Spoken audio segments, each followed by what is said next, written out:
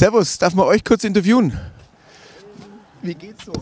Wo, ihr, seit wann, wo seid ihr her? Wo, wann seid ihr aufgestanden? Wo kommt ihr her? Ich bin von Garching. Von Garching. Ja. Okay. Eigene Landwirtschaft natürlich?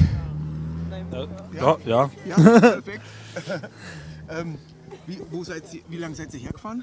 nicht lang eigentlich. Wir haben ja nur 25 Kilometer.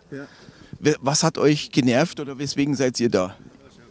Wir sind aber mal grundsätzlich unzufrieden sein mit der Situation, weil ähm, Gesetze gemacht werden, die wo überhaupt keinen ähm, wissenschaftlichen Hintergrund haben oder Sinn machen. Und heute haben wir auf- vor allem da wegen der Düngeverordnung, dass quasi die, äh, das nochmal überdenkt wird, was sie jetzt halt beschließen möchten, weil das überhaupt keinen Wissenschaft oder keinen reellen Hintergrund hat. Genau. Und das ist äh, absolut nicht machbar und das, da macht es überhaupt keinen Spaß mehr. Da kannst du gleich aufhören. Und genau. Und es bringt ja nicht immer was. Was, wenn wenn ihr jetzt dem Söder direkt was sagen könntet, was würdet ihr ihm sagen?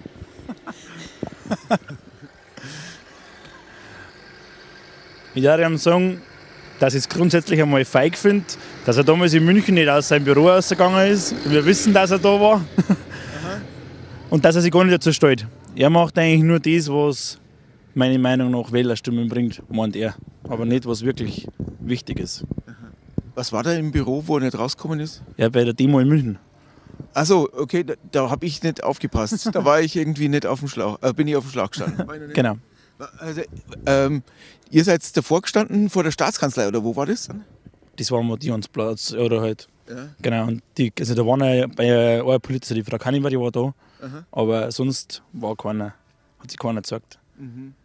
Wie steht ihr so zum Volksentscheid auf Bundesebene und auf äh, Landesebene? Würde das was bringen, dass ihr die, also wenn schon die CSU nicht auf eurer Seite ist, dass ihr irgendwie das Volk versucht auf eure Seite zu bringen? Das kommt ganz drauf an. Ich meine, ja genau, wie es halt, also ich weiß auch nicht, ob das, das Volk soll auf alle Fälle auf der Seite von uns sein, das ist eh klar. Das muss man, auf das muss man auch schauen, weil im Endeffekt, wir leben ja auch von dem. Und äh, welche Medien haben euch speziell so schlecht geschrieben? Der BR auf alle Fälle.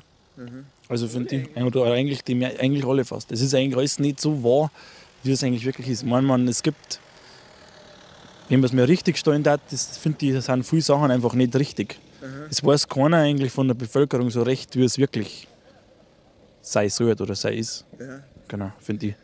Das heißt, die, man bräuchte mehr Informationen, äh, müsste mal einer vorbeikommen und ein bisschen äh, erklären äh, von eurer Seite und ein Medienvertreter so wie ich und, und, und euch ein bisschen äh, doku dokumentieren, was eigentlich euer Alltag ist. Ja, oder allgemein, es, es kann immer viele falsche Bilder da, in die wo einfach, wenn einer was schlecht macht, sind es automatisch immer alle. Und das ist ja nicht so. Es gibt in jeder Branche, das ist scheißegal, was ist der Schlechten.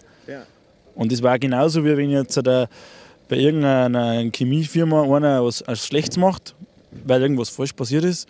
Und dann darf man sagen, das braucht man nicht mehr, das ist schlecht. Bringt ja nichts. Okay, Dankeschön. Bitte.